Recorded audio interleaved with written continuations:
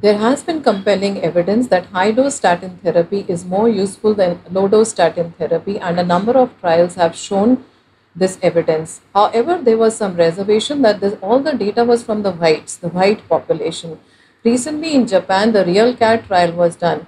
It recruited 13,000 patients, was a multicentric trial and showed that the same benefit is seen in the Asian population.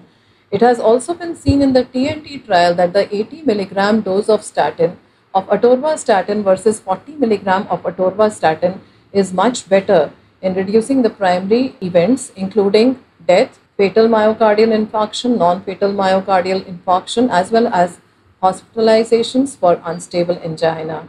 So we recommend that physicians should use high dose statin therapy in patients requiring who are at a higher risk of atherosclerotic cardiovascular disease events, excluding end stage renal disease. Thank you.